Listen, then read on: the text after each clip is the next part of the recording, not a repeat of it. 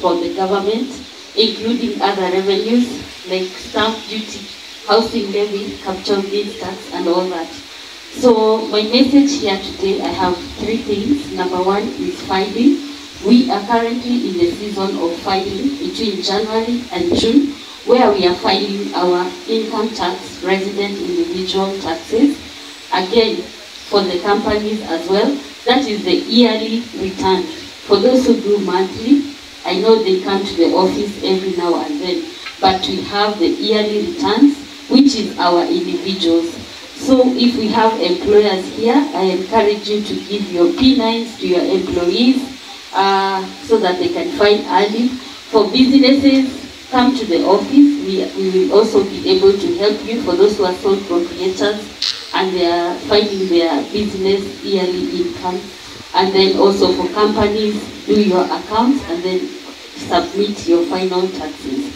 So number two, we also have amnesty program that is currently ongoing.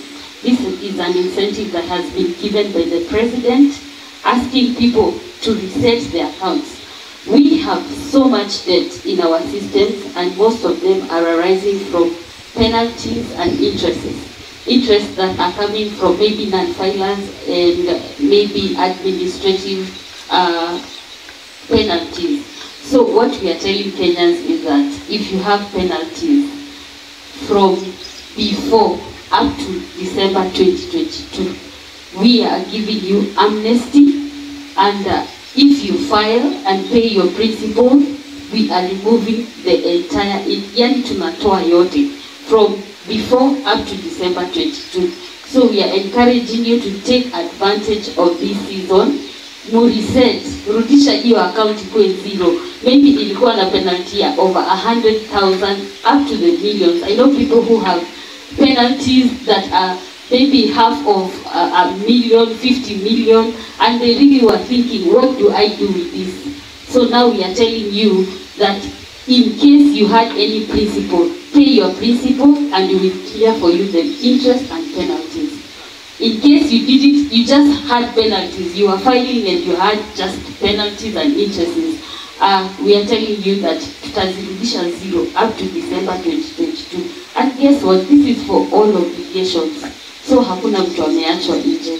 So I encourage you, visit the office and we'll be able to assist you. I know banks are even giving out people loans so that they can pay interest and, and they can pay their, their principals and have their interests and penalties cleared.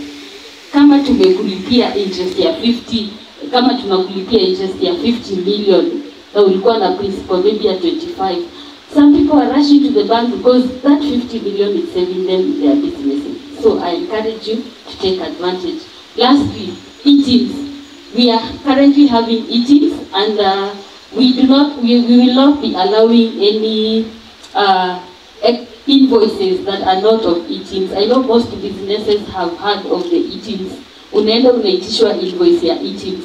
So uh, at the ASK, I know we have a stand and we'll also be there and we'll be able to facilitate you on registration on the eatings platform. Thank you so much. Thank you. Uh, County Commission.